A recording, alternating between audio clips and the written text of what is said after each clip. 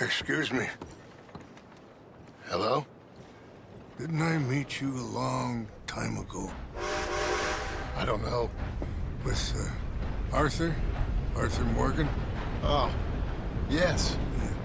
My name is Rains Fall. And I'm Jim Milton.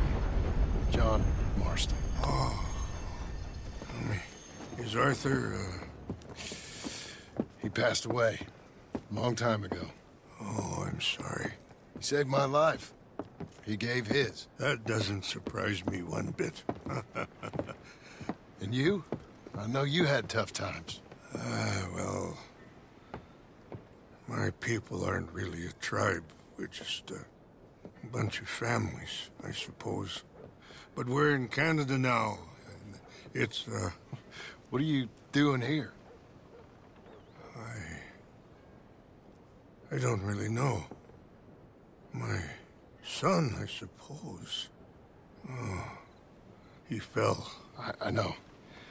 I'm sorry. I've got a son. I'm very sorry. Oh, it was a long time ago now. Well, it's good to see you, Mr. Marston. and you. Uh,